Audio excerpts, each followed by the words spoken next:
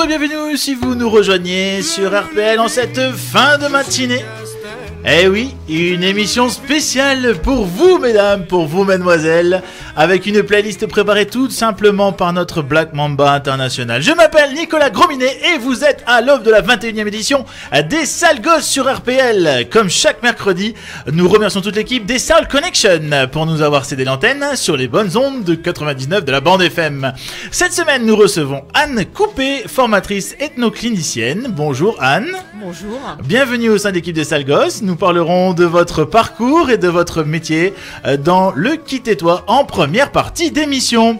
Puis vous retrouverez toutes les rubriques de votre émission préférée, la rubrique de Cédric, la bulle de Barjabul, l'initiative de la semaine et les questions de Pedrolan, l'animal fétiche des sales gosses. Programme chargé, mais toujours dans la bonne humeur grâce à notre équipe d'animateurs de choc et de charme à nouveau grâce à la présence de ces dames que je vous présente de suite. Surnommé l'éponge de la métropole, il connaît tous les meilleurs plans pour passer une bonne soirée sur l'île. Euh, lui aussi c'est un cracker. Grâce à un optimisme implacable, il nous plonge dans chaque semaine dans un futur meilleur et mieux vivable pour notre planète. Notre euh, sauveur du monde, Cédric Porteplume. Quelle description, Hein merci Ça Nicolas. balance, hein. Bonsoir. Il tord le cou aux playlists répétitives des majors en apportant une musique généreuse, intelligente et gourmande. Le cuistot des platines, Patoche le Guano. Bonjour, bonjour. À la pointe de l'actu, c'est un humour piquant qu'elle injecte dans l'émission Filtre d'amour ou Venin mortel. On en est tous addicts chez les sales gosses, la langue amère de l'émission, Delphine Black Mamba. Bonjour à tous. Elle est un petit peu endormie. Non, non, non, très réveillé. Enfin, notre cher Barjaville nous rejoindra en cours de l'émission. Le temps d'atterrir et de prendre un taxi, lui qui, vous le savez, est toujours à la recherche d'un nouveau scandale international à vous dévoiler. Est-ce que tout le monde va bien Très bien, merci, oui. Très bien. Ça très me fait bien. bizarre de parler sur cette musique un petit peu crooner là, comme ça ça. change d'habitude. Ah hein. ouais, c'est vrai. Ça hein. vous ressemble pas trop. Merci, ça fait plaisir. Le décor est planté. Alors, euh, Delphine, vous avez voulu mettre un petit peu une petite touche féminine dans cette émission. Pour quelle raison? Bah, je me suis rendu compte hein, euh, qu'on passait pas beaucoup, beaucoup de chansons de chanteuses. Et je me suis dit qu'il fallait un petit peu remédier à ça. Surtout que. Ça sent le mouvement féministe. hein. Non, du tout, du tout. Je suis pas comme ça. Mais deuxième argument, la semaine dernière, je n'étais pas là. Ah, elle Vous veut étiez- marquer Ah ouais, son vrai, empreinte. Vous étiez uniquement entre hommes. C'est vrai. Ce matin, je suis de retour et nous sommes euh, accompagnés d'une invitée féminine également. Donc j'avais envie de nous mettre à l'honneur Ah oui. en préparant une petite playlist 100% féminine. C'est vrai que si vous le faites pas, personne le fera. Voilà, comme, on- comme je suis le quota de l'émission, je ne cesse de le répéter, euh, il fallait que- il fallait qu'on se démarque un petit peu. Finalement, elle fait un petit peu comme chez elle. Hein À la maison, maison, et hein. voilà. On est un petit peu comme à la maison ici, Oui, euh, vrai. monsieur Grominet. Et j'espère, bah oui, tout à fait. Et j'espère que nos auditeurs euh, ont aussi cette impression-là. Mais j'espère. Euh, monsieur, euh, monsieur Porteplume, euh, comment allez-vous? Très bien, je vous remercie. Euh, Bah oui, parce que étant donné que les dames euh, elles se présentent d'elles-mêmes, euh, voilà, s'inquiètent un petit peu d'elles-mêmes. vous allez bien? Mais très bien, oui, je suis un peu déçu de, ne pas pouvoir choisir une seule des chansons qu'on passera aujourd'hui, mais euh, pour avoir un peu près écouté ce ce à quoi on allait avoir droit, on va, vous n'allez pas être déçus et nous non plus d'ailleurs. Bah oui, y a pas de raison. Vous avez choisi RPL pour une heure de détente, de divertissement et de bon son, et vous avez eu raison.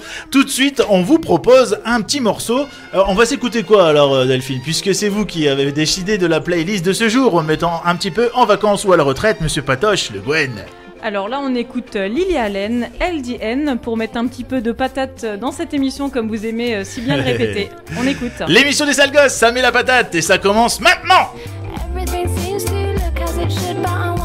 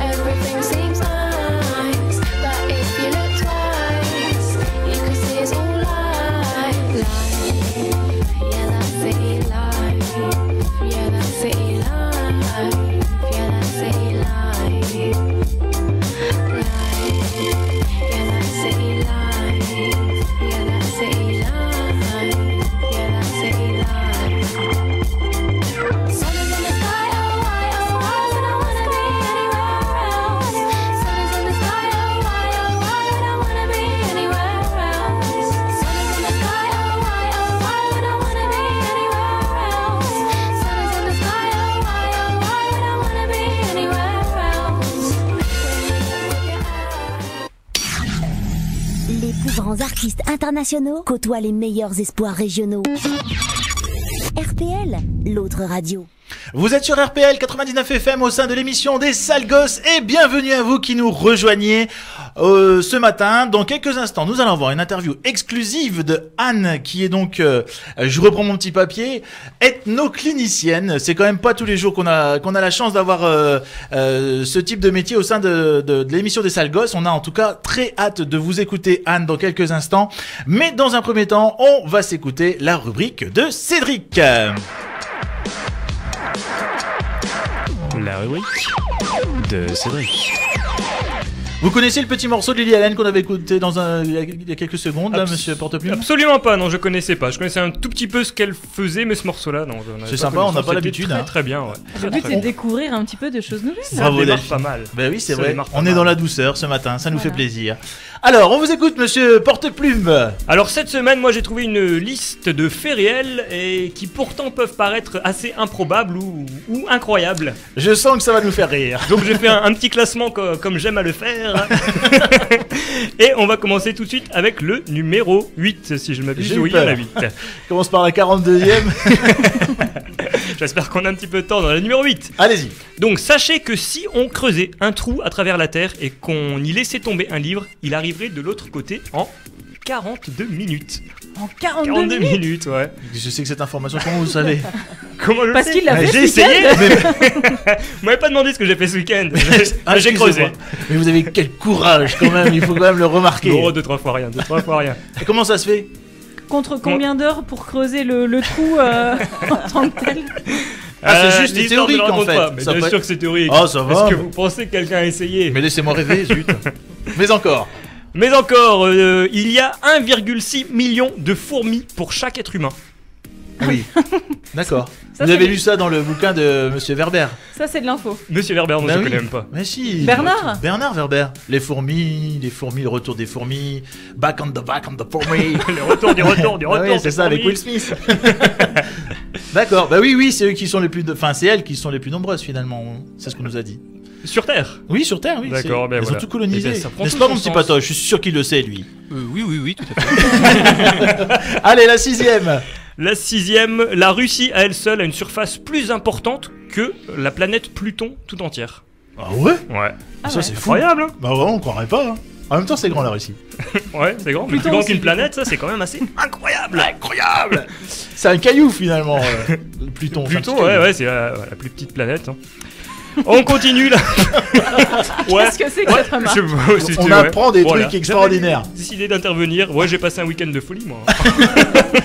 La cinquième. Je crois que c'est la cinquième, c'est ça? Euh, c'est bien ça, c'est la cinquième. Euh, sachez que le Turritopsis est une méduse immortelle. Non, ça c'est intéressant pour le coup, parce qu'elle est capable d'inverser indéfiniment son processus de vieillissement. Son processus de vieillissement, pardon. Mais Elle ne meurt jamais. Mais vous êtes Elle ne meurt jamais. ces infos? Elle ne meurt jamais biologiquement. Maintenant, elle est quand même pas à l'abri d'un accident. euh, Si elle tombe du cinquième étage, si elle fume un peu trop de cigarettes, Elle passe pas sur Ah, un passage piéton, un truc comme ça quoi. si elle se prend dans une hélice, tout peut arriver. Quoi. Exactement. Mais en tout cas, d'un point de vue biologique, elle, ne, elle peut ne jamais mourir. Est-ce que je On peux vous pourrait re- donc- Pardon. Excusez-moi, on pourrait donc utiliser peut-être euh, ce système pour nous-mêmes, peut-être Tout à fait. euh, ne, ne jamais mourir. Mais quelle finalement. bonne idée Mais quelle bonne l'idée du idée je- siècle. je- je- ça se fait déjà. Ah, Ah, vous ne connaissez se- gens qui ne meurent jamais Oui, la crème Nivea, c'est ça Neutrogena aussi, il faut citer plusieurs marques. Ah oui, hein. c'est vrai. Et j'en ai pas de troisième. Normalement, c'est trois marques. Euh, Merci. Delphine. je cherche, on reviendra Cédric, plus on tard. enchaîne parce qu'avec Delphine, on n'est pas arrivé là. Alors, 50% de l'ADN humain est similaire à celui d'une banane. Ça tombe bien, on adore les bananes. Et pour certains, ça se voit. C'est bien ce que je pensais. Mais encore. Mais encore là, on va monter sur le podium et on va attaquer tout de suite avec le numéro 3. Il y a plus d'étoiles dans l'espace que de sable sur l'ensemble des plages du monde. C'est dingue. Dingue C'est pas possible. Vous avez compté les Ordinaire. petits grains aussi là C'est ça Je vous dis, moi j'ai passé un week-end de fou. J'ai creusé un trou à travers la planète, j'ai compté les grains de sable. Je suis allé pêcher des méduses, bref. Deuxième, en deuxième En position. deuxième position, La baleine bleue possède le record du plus gros pénis du règne animal avec 2,4 mètres de long. Ah oui. Et donc là, je me suis noté entre parenthèses interdiction de faire euh, la moindre blague sur ce sujet. Ça tombe bien, je retiens la mienne. De blague, bien sûr. J'entends Le bien. podium, le premier du podium, ça Le sera. podium, certaines tortues peuvent respirer avec l'anus. Je suis désolé, Anne. Vraiment. On Moi aussi- moi aussi, on moi aussi, je suis s'excuse au nom désolé. des sales gosses. euh. Vous avez trouvé ces infos à quel endroit J'ai rougi même pas en plus, vraiment. Mais... Aucune, euh, aucune gêne. Euh, J'ai trouvé ça sur le site, euh, la page Facebook de Monsieur Mondialisation. Encore lui et toujours. Et voilà.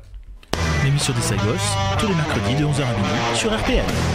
Et on passe la main à Delphine Black Mamba après avoir bien rigolé avec Monsieur Porte. Vous êtes quand même surpassé là ce week-end. hein. Ouais, je me, ouais. Allez, Je Delphine, pas mal. c'est à vous, on vous écoute. Vous avez amené quoi de- dans votre petite besace? Alors, connaissez-vous l'artiste Abraham Poincheval? Non Du tout. Non. Il est spécialiste des immersions extrêmes et figurez-vous qu'il va passer, enfin il a commencé un début du mois d'avril, euh, un voyage entre guillemets. Il, il va passer, il commence à passer 13 jours. Il va pas Dans à un- passer ours. dans quelques Dans instants. un ours. imminent. Dans un ours Un ours exactement, qui est exposé donc au musée de la chasse et de la nature. Qui est encore C'est vivant un ours Non, évidemment. C'est quoi cette Il est naturalisé, il est au beau milieu, au beau milieu donc de ce musée, et cette personne a donc aménagé l'intérieur de l'ours pour y vivre pendant 13 jours et vivre donc cette immersion euh, complètement euh, sauvage et insolite. Mhm. On peut l'observer.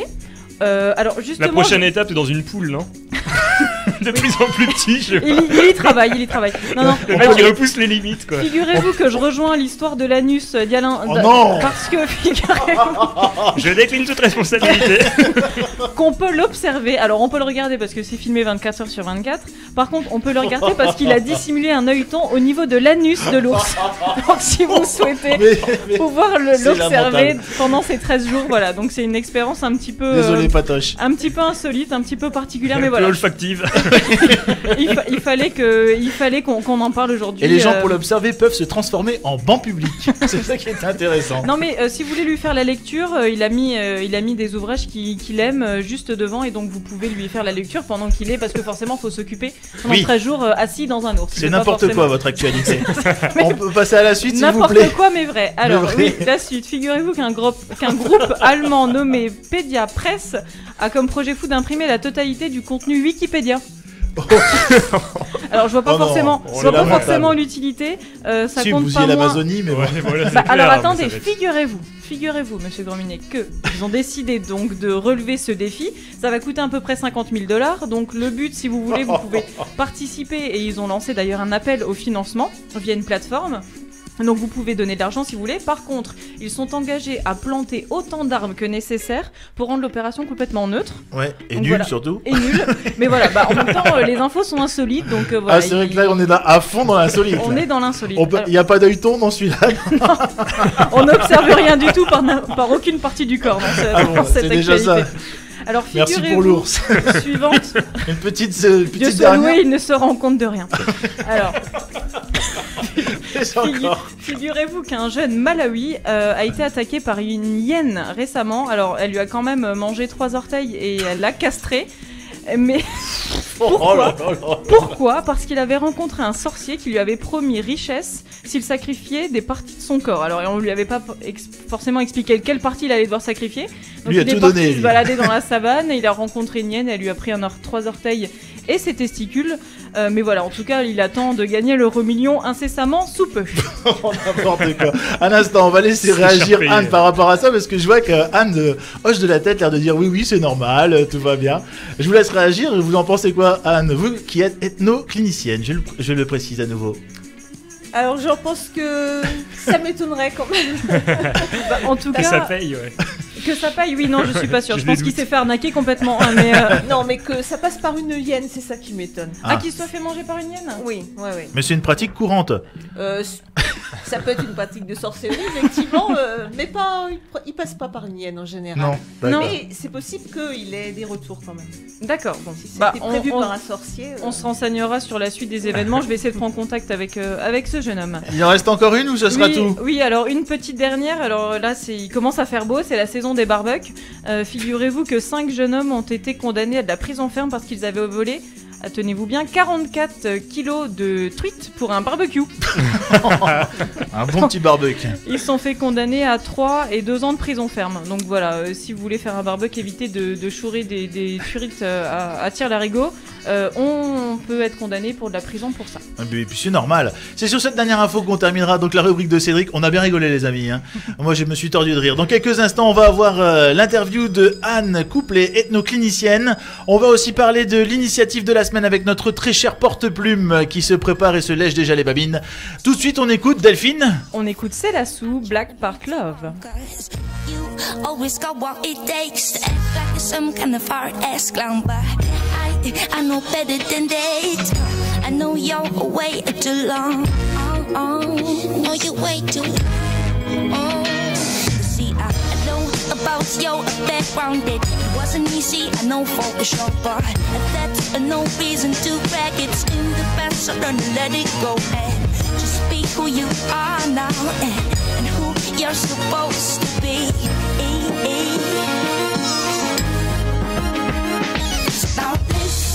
Guy, uh, learn how to love yourself again, yeah, yeah. And then just fly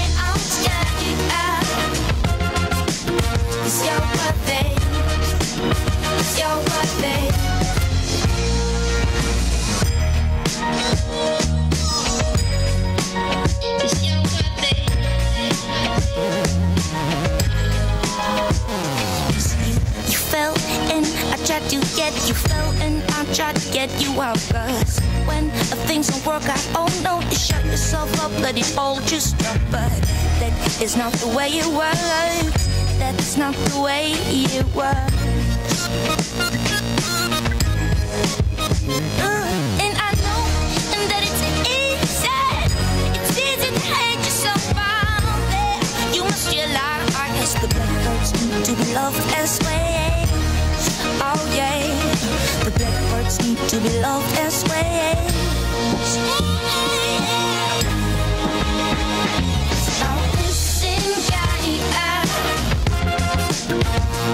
How to love yourself again, yeah, yeah. Begin and then just fly out, yeah. It's your birthday. It's your birthday.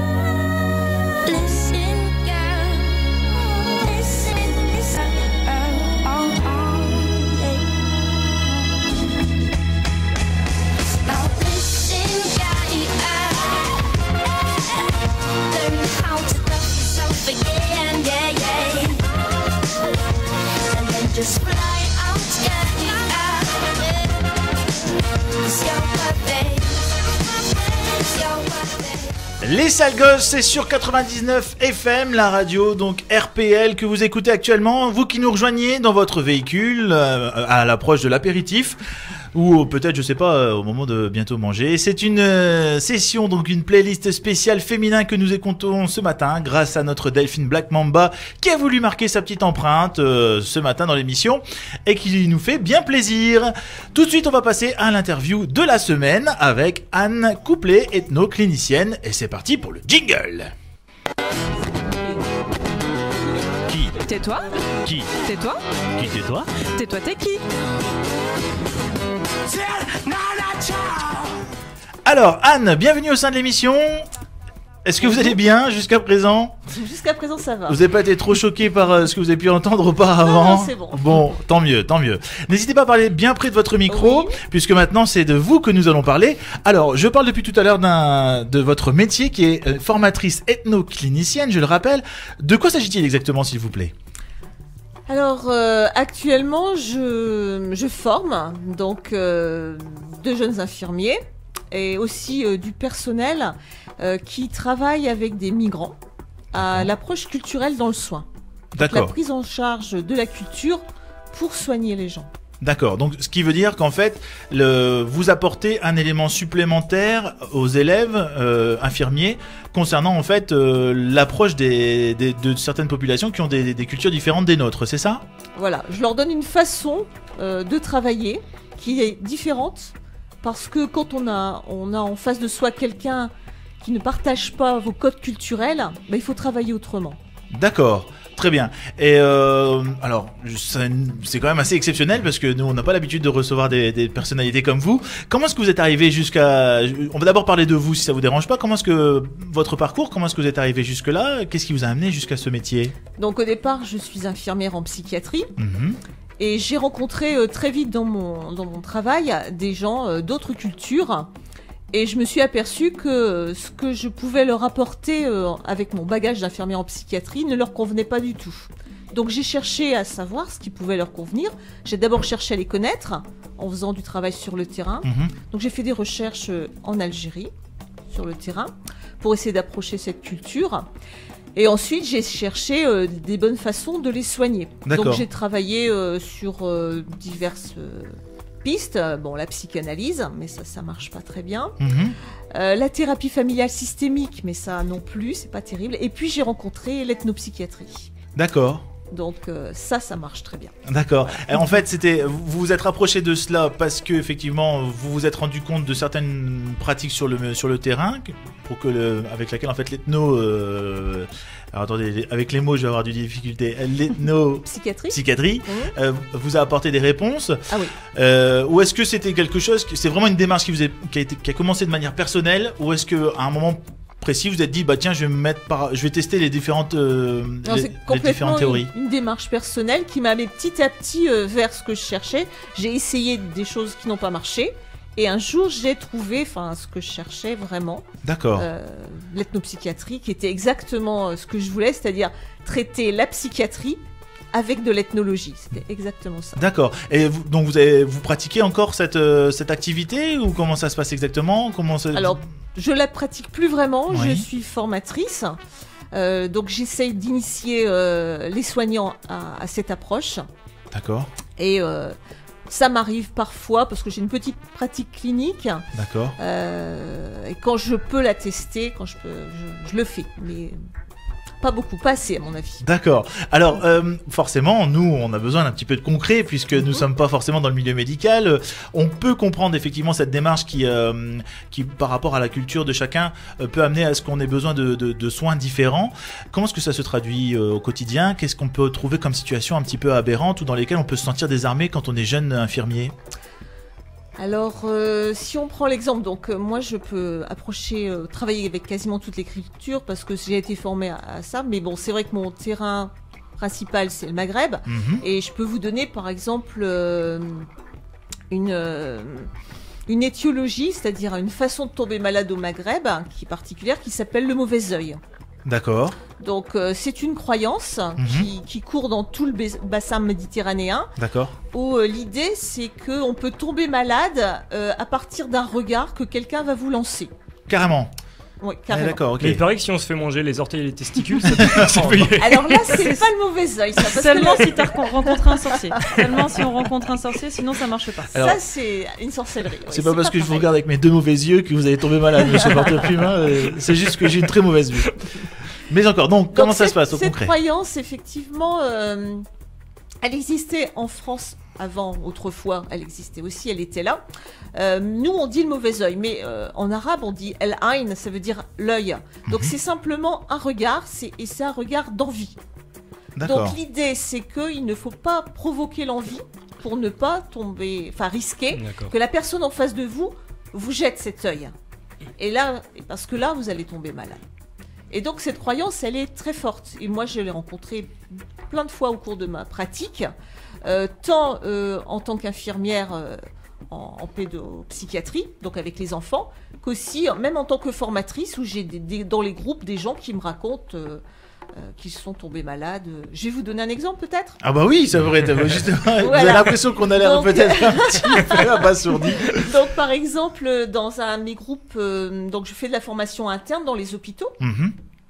Donc je forme des, des infirmiers qui travaillent avec les patients euh, euh, originaire du Maghreb. D'accord. Donc, dans un de mes groupes récemment, j'avais euh, deux, deux infirmiers qui s'étaient inscrits, donc qui étaient maghrébins. Je l'ai vu à leur nom. Donc, Mhm. ça m'arrive parfois. Au départ, je ne pensais pas que c'était possible. Mais finalement, maintenant, je suis habituée parce que ce sont des gens qui viennent et qui me disent ben, Moi, je viens à la formation parce que euh, je n'ai pas de notion de mes racines. On m'a pas transmis, donc je vais voir un peu ce que vous avez à me dire sur ma culture d'origine. D'accord. Finalement, ça se passe très bien avec eux parce que finalement, ils savent plein de choses et ils m'aident à, à faire la formation. Donc là, euh, il y avait deux personnes, un homme et une femme inscrites. La femme était absente, je ne savais pas pourquoi. Et au cours euh, de la formation, le deuxième le troisième jour, on parle du mauvais œil. Et donc les autres écoutent, tout, tout le groupe écoute, Mhm. et à un moment, le, le jeune infirmier d'origine maghrébine prend la parole et il me dit, bah oui, de toute façon, là, le mauvais œil, effectivement. Il dit, euh, par exemple, vous savez, euh, je vais vous dire, ma, ma femme est, est absente, vous avez vu que ma femme était absente. Alors je dis, bon, déjà, je savais pas que c'était sa femme, je dis, d'accord, j'ai vu. Et il me raconte que, donc, euh, ils étaient mariés déjà depuis quelques années, et qu'il venait de, il venait de savoir que sa femme était enceinte. Il était vraiment très très heureux, très content. Et il arrivait dans son service en disant, euh, bah voilà, euh, ma femme est enceinte. Et là, il me dit, et là, je l'ai vu, je l'ai vu ma collègue. Elle a regardé, elle m'a regardé, et je me suis dit, ah là là, j'aurais pas dû. Et il dit, deux jours après, ma femme a fait une perte. Et c'est ça le mauvais œil. C'est ma collègue qui m'a mis le mauvais œil. D'accord. Donc les autres disent, eh ben dis donc, tu dois lui en vouloir à ta collègue. Et là, non, justement. Non, c'est à moi, il dit. C'est à moi que j'en veux. Parce que j'aurais jamais dû le dire. Pas le dire comme ça, parce que, euh, voilà, je sais très bien que ça, c'est quelque chose qui peut provoquer l'envie. C'est ce qui s'est passé, et ma femme a perdu son bébé. Ah oui. D'accord. Ok, donc c'est quand même des, des, des croyances assez ancrées quand même. Ah, euh, c'est très fort. D'accord. Donc fort. il faut vraiment prendre en considération. Et aujourd'hui, est-ce que vous avez l'impression que lorsque vous avez, vous, si je sais pas si vous passez un petit peu de temps dans les hôpitaux, est-ce que les, les infirmiers, le personnel encadrant était, était assez sensible par rapport à tout ça ou encore besoin peut-être d'un petit peu d'information Non, il faut, il faut informer parce que, par exemple, en maternité, le mauvais œil est très présent sur les bébés. Et il faut pas regarder un bébé euh, d'origine. Enfin, quand il y a la croyance du mauvais œil derrière, faut éviter de regarder les bébés. D'accord. Parce que les parents le vivent très mal. Mhm. Il faut, il faut rien dire sur un bébé, surtout pas qu'il est beau. D'accord. D'accord. Donc ça, ça c'est- je sensibilise beaucoup les infirmiers parce que parfois chez les migrants qui sont pas là depuis longtemps et qui ne connaissent pas trop, Mhm. ça fait, ça provoque vraiment des, des paniques quoi. D'accord. Moi, ouais, je le fais systématiquement, ça. Bah oui. Quand il y a un nouveau-né, je dis, oh, il est, il est Oui, moche. parce qu'on. Justement, pour pas le, pour le mauvais œil. Oh, il est moche. Mon Mais Dieu. dans votre culture, ça doit, ça doit pas bien passer du tout, ça, parce que les gens, ils aiment vous pas, l'avez raté. Mais comment vous avez fait? D'accord, très bien. Bon, on, s'écoute un petit morceau. Je vous propose de, de, de continuer avec, euh, avec Anne dans quelques instants. Euh, un morceau peut-être Delphine, que vous allez pouvoir nous donner un petit peu le, le contenu ou Oui, euh, oui, oui, vous vous on- rappelez ce que vous avez mis dans la Ah playlist bah oui, je ça m'en va souviens très bien. hein, J'ai mis la grande Missy Elliott, Terry Hyde. On retrouve Anne avec d'autres anecdotes encore, ainsi que l'initiative de la semaine dans quelques instants. Vous êtes avec les sales gosses sur RPL 99 FM. no one from the places I've come.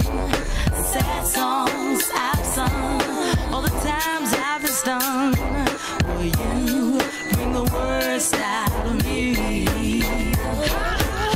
And I can't count these tears cried. The emptiness inside, left me so petrified. Try to keep love alive,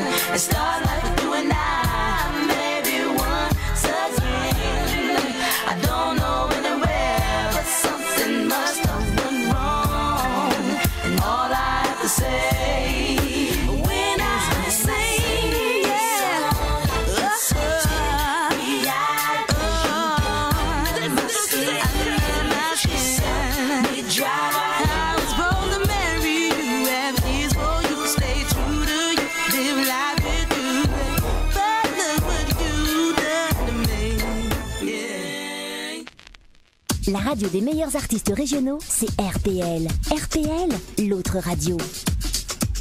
Vous êtes au sein de l'émission des sales gosses sur RPL 99 FM. Merci de nous rejoindre. Merci à vous qui êtes restés. Nous étions donc en pleine interview avec Anne euh, Coupé, qui est donc euh, euh, formatrice ethnoclinicienne, qui nous a fait partager un petit peu son métier, un petit peu son parcours, euh, mais aussi euh, ses anecdotes de, de, de son parcours, justement de sa vie professionnelle. Une petite question peut-être Delphine que vous aviez euh, voulu nous soumettre hors antenne. N'hésitez pas, c'est le moment ou jamais pour Anne. Oui, c'est surtout pour connaître un petit peu la formation. Enfin, en tout cas, euh, aujourd'hui, si euh, les gens qui nous écoutent, les infirmiers ou infirmières qui nous écoutent, peut-être ont envie, euh, ou d'autres d'autres formations ont envie d'aller sur ce sur ce terrain-là, comment se renseigner, quelle école faire pour arriver à être ethnologue psychiatre? Donc, alors justement, ça c'est intéressant, ethnologue psychiatre, eh ben, on fait psychiatrie et après on fait de l'ethnologie, donc ça c'est pas mal. Par contre, ça prend beaucoup beaucoup de temps. Euh, Il y a la possibilité de faire simplement de l'anthropologie, puis ensuite- D'accord. Et sinon, il y a vraiment une euh, formation spécifique d'ethnopsychiatrie. Alors la mienne, elle est, je l'ai faite à Paris 8, à l'université de Paris 8, euh, en Seine-Saint-Denis. Et il y en- elle existe encore. Et il y en a une autre qui se fait à Bobigny. Donc il y, en a, il y en a surtout deux. Deux euh, formations en France qui oui, permettent ah oui. d'arriver à ce métier-là. Et vous êtes formé au cours de votre parcours ou ça a été vraiment une formation de démarrage jusqu'à pratiquer votre métier Vous voyez ce que je veux dire? Est-ce que vous vous êtes formé au cours de votre profession? Oui, C'est alors, l'impression que j'ai eue en en, fait, tout cas lorsque vous m'avez exprimé votre parcours. Oui, donc euh, moi j'ai fait plein de formations. J'ai commencé par faire euh, de la sociologie, Mhm, de l'ethnologie. mhm. Euh, c'est là que j'ai fait mon terrain en fait. J'ai eu la chance de faire de l'ethnologie euh, en Algérie avec un, un professeur algérien. Et, et ensuite, euh, j'ai fait de la thérapie familiale pour travailler avec les migrants. Je voulais, donc c'était vraiment mon idée. Et j'ai testé. J'ai eu la chance de tester. Puis c'était pas du tout un, pour moi, c'était pas un bon outil. Mhm. Et ensuite, euh, la formation est venue euh, juste après. Elle s'est faite à Paris 8. J'ai passé deux ans à Paris 8. Donc avec, je vais quand même le nommer, le professeur Toby Nathan, qui est le, le chef de file de l'ethnopsychiatrie clinique en France, qui a été mon professeur pendant deux années. Et ensuite, j'ai fait trois ans, j'ai préparé une thèse de- d'ethnopsychiatrie avec lui. D'accord. Trois années supplémentaires. Et donc pour intégrer cette formation, il faut absolument avoir le titre de psychiatre pour accéder à cette formation? Non, non, non, Oui. non, non, non, non. Quel titre, de quel titre on a besoin euh, pour euh, pouvoir prétendre à cette formation-là Cette formation-là est ouverte à toute personne avec un niveau licence. Un niveau licence, d'accord. Donc Et- pas forcément, même pas forcément en médecine. Non, non, non. Ça peut être. Bon, il y avait des médecins en formation avec nous, des psychologues. euh, bon, moi, j'étais infirmière, mais il y avait des assistants sociaux. euh, C'était très, très variable. D'accord. Donc sans être médecin, on peut prétendre, ou en tout, Tout à cas fait. sans être dans le domaine Simplement, de la ce qu'ils demandent, c'est d'avoir d'être en contact avec des migrants pour D'accord. pouvoir faire euh, de Pour la avoir- pratique. D'accord. Mm. ok. Delphine Black Mamba consulte pour tout ce qui est orientation sur le RPL 99 FM. Une question, monsieur Porteplume Ouais, moi la question que je me posais, c'est est-ce que vous êtes nombreux, alors euh, d'une part sur la région et voire en France à faire ce type de métier parce que moi, enfin personnellement, moi j'en avais jamais entendu parler. Moi vous êtes plus. la première que je rencontre. Euh, et donc voilà, je me, je me posais la question de savoir ouais, que, quel nombre, combien, combien vous êtes. euh. Alors, les consultations, parce que c'est ça qui est intéressant, c'est de pouvoir euh, voir des gens en consultation et les aider. euh, c'est en- c'est uniquement à Paris. On avait tenté d'en d'en mettre une en place dans le Nord. Euh, et puis ça, ça a échoué. Donc je sais qu'il y a des gens qui sont formés dans le Nord. Euh, ils font d'informations aussi comme moi. Et puis quand euh, ils vont, ils interviennent aussi sur Paris. Euh, je pense qu'on n'est pas assez nombreux, ça c'est ça c'est clair, et que si on avait une consultation dans le Nord-Pas-de-Calais, ça serait très bien. Quand on a besoin, on fait venir des gens de Paris pour avoir un peu un éclairage ethnopsychiatrique. Et celle donc qui avait été créée sur la région, elle s'est arrêtée parce que pas assez de succès, c'est ça, c'est ça? Euh, parce que le médecin qui l'avait initié en fait euh, a arrêté. Et comme c'est vraiment une formation très particulière et une approche très particulière qui euh, qui n'est vraiment pas classique pour les psychiatres. euh, Puisque en fait on travaille pas du tout avec euh, la psychiatrie qu'on apprend ici dans les écoles. Il faut vraiment avoir une personnalité qui soit d'accord pour pour sponsoriser ça, je vais dire. Et là, bon voilà. Alors vous, vous êtes spécialisé dans tout ce qui est euh, population donc issue des pays du Maghreb, c'est ça? Surtout oui. D'accord. Il y a d'autres personnes qui ont des spécialités, peut-être d'autres euh, Bah, pays en des, particulier? des- des sensibilités, hein, parce que je vous ai dit au départ, on a une formation Mhm. généraliste. Donc je pense que, enfin, on est capable d'aborder toutes les cultures parce que c'est une façon de le faire. Euh, mais chacun ensuite se retrouve euh, plus particulièrement dans par affinité dans, dans- voilà. Je crois que chacun a vraiment une spécialité de cœur, je vais dire. Mhm. Mais sinon, on est vraiment capable. On nous a appris à être capable de travailler avec toutes les cultures. Delphine Black Mamba. Oui, du coup, je, je relève par rapport à ce que vous disiez, que vous étiez justement pas assez à pratiquer euh, cette. euh, euh, à, à être, à avoir cette formation et avoir ce métier-là. Est-ce que l'idée, ce serait pas peut-être de proposer ce type de cours, enfin les formations que vous proposez, autant en école de médecine euh, qu'en école d'infirmiers, infirmières, euh, assistantes sociales, etc.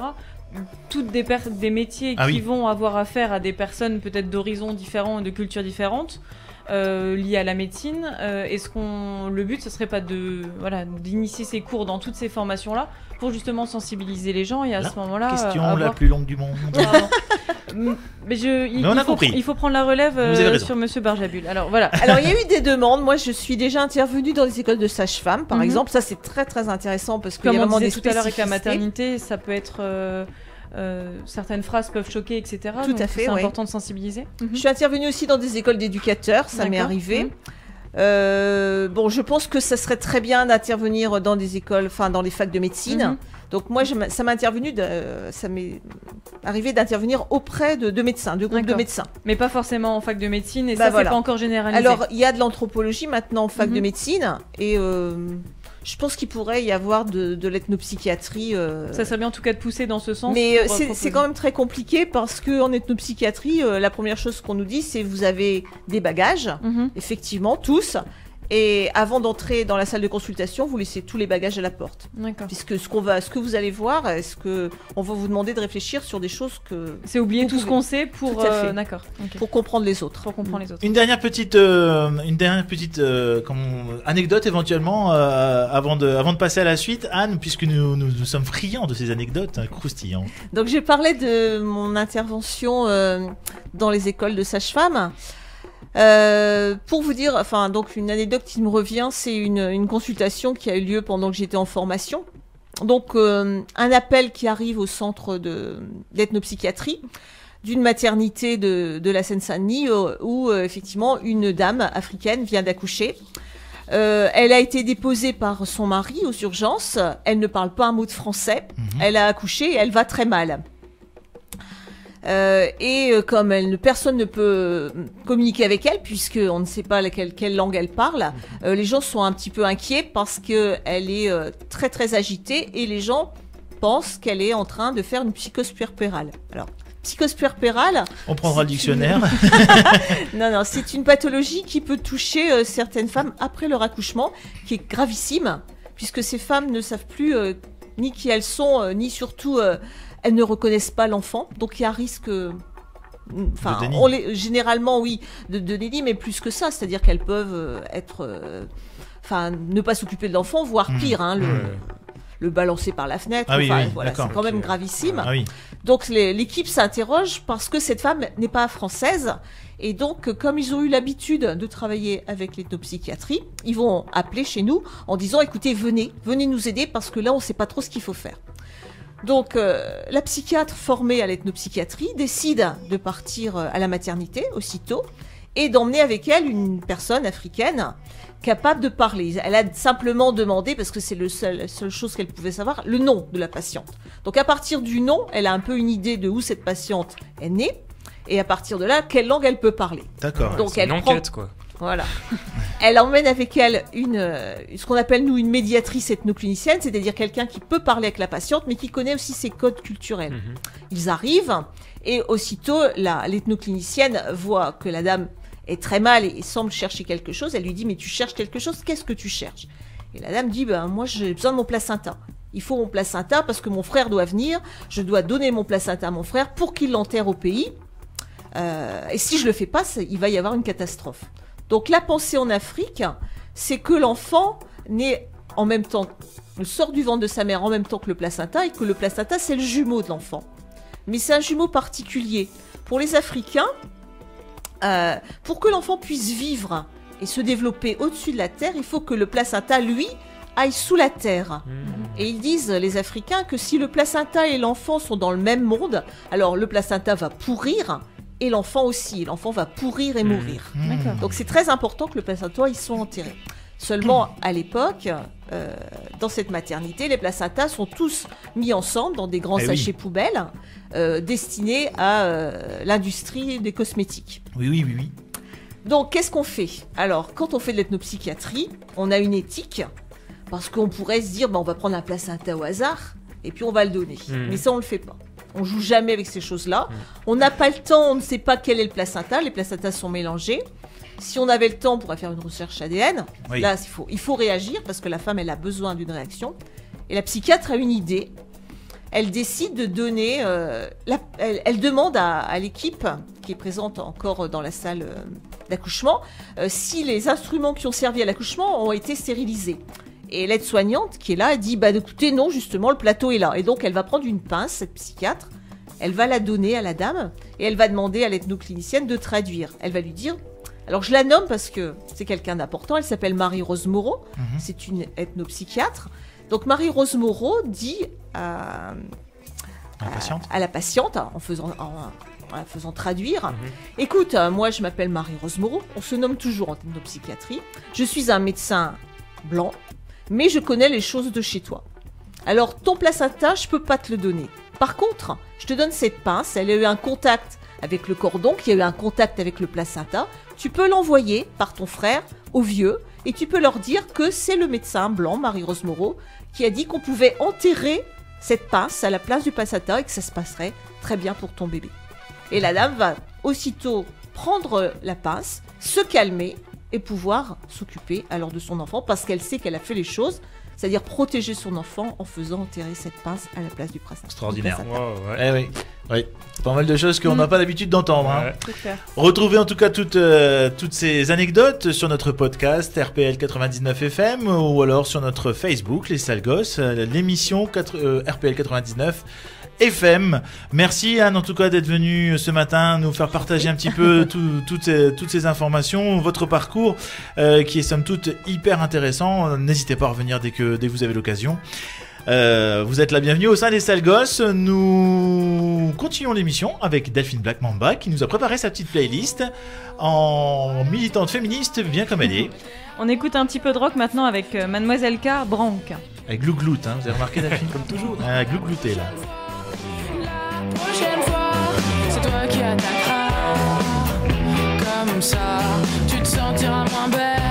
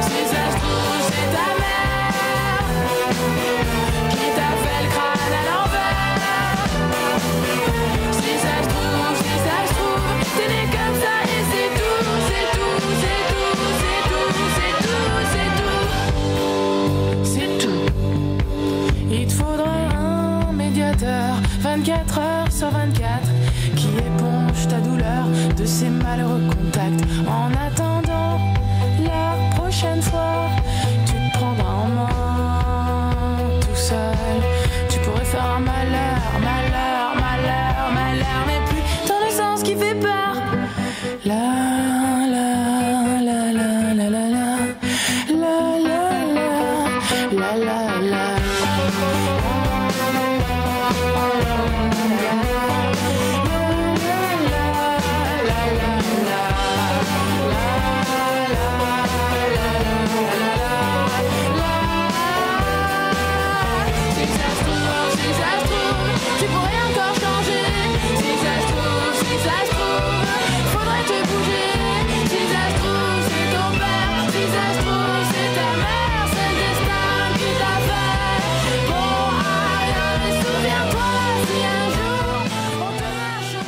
de connaître le titre d'un morceau entendu à l'antenne Appelez RTL au 03 20 555 852.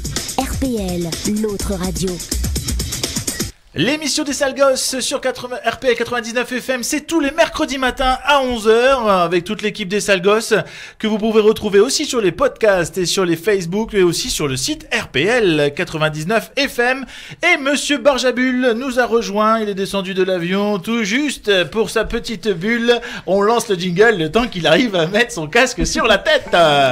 La bulle, la bulle, la bulle, la bulle, la bulle, la bulle de Barjabul. Alors, un véritable défi pour vous ce matin, euh, monsieur Barjabul, puisque vous allez devoir faire un sujet en 3 minutes chrono. Et je vous dis top. Vous nous parlez de quoi ce matin? Ça n'existe pas.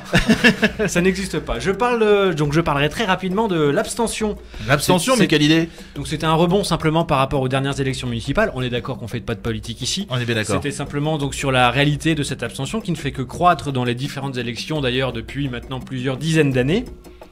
Donc j'avais tout un tas de chiffres, de statistiques, d'exemples, de Merci mise en de nous épargner. perspective. Merci de nous épargner.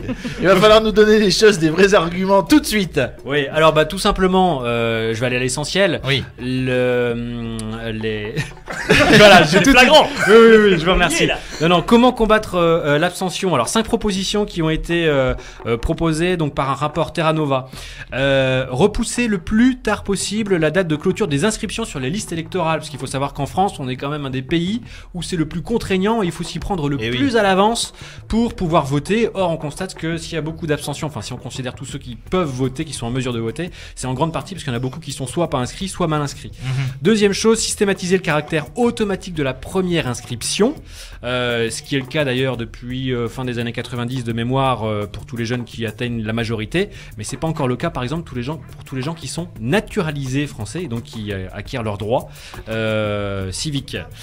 Ensuite, troisième euh, proposition, harmoniser la liste des pièces demandées pour pouvoir s'inscrire, parce qu'aujourd'hui il se trouve qu'il y a des grandes disparités entre les différentes communes. On le sait pas, ça. Pas forcément. Absolument. Alors, euh, des fois, il faut des documents en plus, ou alors sur les documents acceptés, il y a plus d'exclusions, par exemple pour un justificatif de domicile, plus d'exclusions dans telle ou telle mairie qu'ailleurs. Donc ça, déjà, ce serait quelque chose à, à- à- à revoir. Quatrième euh, possibilité. Généraliser Il y a 12 la... possibilités. Il en a 5. Ah, pardon. 5. Excusez-moi. Et nous sommes à la quatrième. Généraliser la possibilité de s'inscrire sur Internet. Oui, ça paraît idée, une ça. évidence. Euh, euh, D'ailleurs, ça commence à être pratiqué puisque j'ai. À quand le vote sur Internet? Mais ça a commencé déjà un petit peu en France, euh, puisque je crois qu'il y a 3000 communes qui proposent ce service. C'est déjà bien. C'est déjà pas mal, mais c'est vrai qu'il faudrait le généraliser. Ah oui, après tout. euh, voilà, ça faciliterait la possibilité de pouvoir voter, mais il y a aussi plein d'autres avantages à cette, euh, à cette option. Et enfin, rendre obligatoire les campagnes d'information sur l'inscription, euh, puisque bah, généralement les gens ne sont pas informés, en tout cas en temps et en heure, notamment en cas de déménagement, euh, sur, euh, sur, ces, sur ces, euh, ces formalités qui doivent être réalisées. Les 3 minutes sont écoulées, mon petit Benjamin Barjabul. Je lui laisserai c'est bon un peu plus de temps la prochaine fois pour parler de tout ce sujet. Il est sérieux, notre Barjabul, hein, Anne Vous en pensez quoi Ça Hein change un petit peu de ce qu'on a dit en début d'émission. Oui, il a- c'est pas pareil. ouais. Et il est un peu plus foufou d'habitude. C'est toujours moi qui... Ah, euh, me concernant, d'accord. Et il va se chauffer dans quelques instants. En tout cas, moi, justement, au sujet de l'abstention, j'aimerais juste euh, rappeler à tous ceux qui, euh, qui, ne, qui ne vont pas voter qu'Hitler a été un personnage qui a été euh, élu. Et oui, il faut le rappeler. Donc, ne serait-ce que pour ne pas se retrouver avec des régimes assez particuliers, je vous invite à voter. Et on passe tout de suite à la rubrique de Cédric. À fond.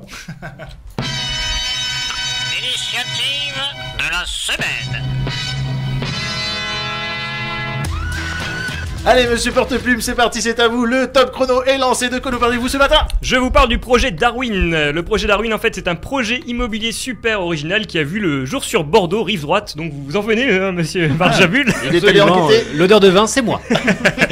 Donc vous êtes passé euh, peut-être devant ce projet immobilier, euh, donc qui, euh, qui prend place en fait sur les ruines d'une ancienne caserne militaire. Donc le site en question était complètement en friche depuis 2005, squatté, dégradé, pollué, et en 2009 deux personnes, Philippe Barre, le patron de la société Evolution, et Jean-Marc Gancy, le directeur du développement durable de cette entreprise. Eh bien, en fait, ils ont décidé d'acquérir une partie de cette ancienne caserne militaire pour la réhabiliter et en faire une ruche d'activité. D'accord. À terme, cette ruche devrait s'étendre sur environ 10 km, dont 5700 m2 de bureaux et 1700 m2 de locaux commerciaux. Donc au final, ça va regrouper à la fois, vous l'avez compris, des personnes qui ont leur activité professi- professionnelle, pardon, donc qui louent des locaux au sein de cette ruche, et à la fois des locaux commerciaux, donc euh, des magasins qui vendront leurs propres produits. Au total, ça va regrouper environ 50 organisations, euh, pour un total de 250 emplois. Les avantages, c'est que euh, grâce à cette initiative, ils ont contribué donc à sauvegarder un bâtiment historique qui fait quand même partie du patrimoine de la ville, tout en faisant de l'écologie un axe majeur de cette rénovation. Ah, je me doutais bien qu'il y avait quelque Il y a- chose là-dedans. Je me dis à quel moment ils vont en parler? Euh, Qu'est-ce que j'allais dire d'autre par rapport à ça? C'est que ça devrait être le premier élément de tout un écoquartier qui, euh, qui sera mené à se construire autour de ce bâtiment. Euh, sur les, avantages écologiques dont il va bénéficier, pardon, donc euh, ce bâtiment va utiliser des énergies renouvelables, une climatisation naturelle, un système de récupération des eaux de pluie, une politique de tri des déchets pour les personnes qui y travailleront, euh, une incitation au vélo, la mise en place de d'aides pour faciliter les accès aux transports en commun, la mise en place d'une ferme et d'un potager pour que les gens puissent se restaurer sur place avec des produits sains. Et j'en passe, bref, tout est pensé dans un esprit de protection de l'environnement. D'accord, super. Une vie nouvelle en fait. Une vie nouvelle, c'est ça. Tout un, tout un bâtiment vraiment orienté au cours de l'écologie et dans lequel on va faire de l'économie. Donc, comme quoi, les deux domaines ne sont pas forcément Ils antinomiques. peuvent être compatibles. Voilà, on peut tout à fait associer les deux, écologie et économie. Il y a encore plein d'autres choses, je sais pas si j'ai Oui, encore un peu de temps. Alors est-ce on qu'on a encore un petit peu de temps On est, C'est au la bout fin. du temps, désolé. Voilà, juste, bon, il y a des Euh, salles de réunion qui sont mises à disposition, oui, des il espaces faut de vous taire coworking. maintenant.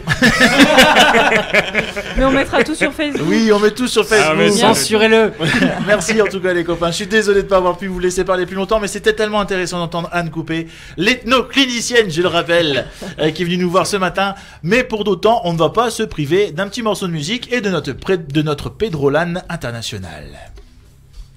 La musique d'abord, Delphine. Alors la musique, plaît. on y va, on va Elle écouter s'endort. Adele, If Hadn't Been For Love. Avec Glouglou, mais elle s'endort. De l'électro, du rock, de la funk. RPL, l'autre radio.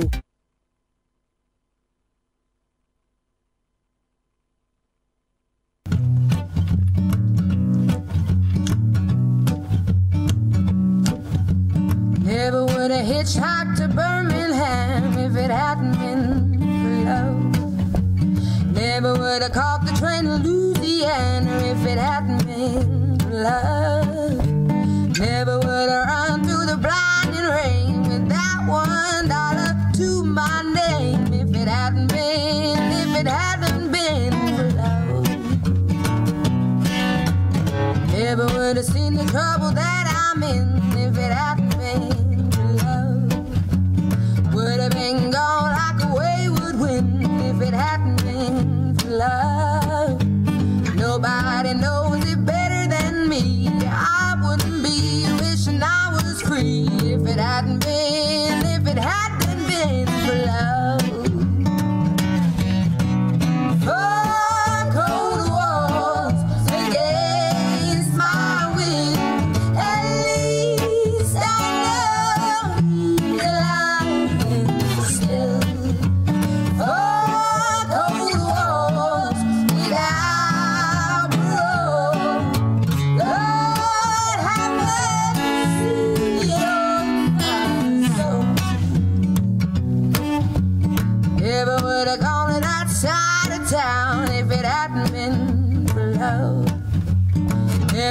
took a mind to track him down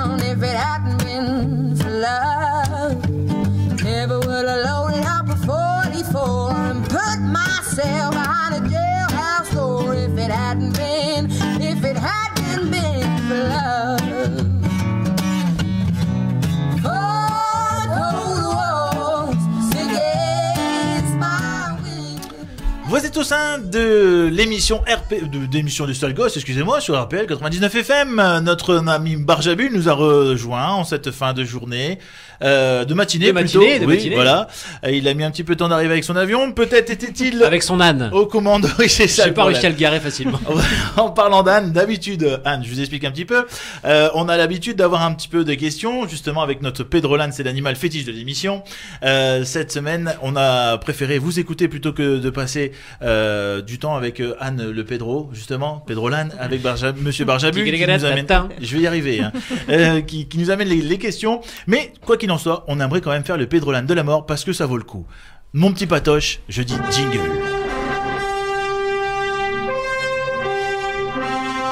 Le Pédrolan de la mort.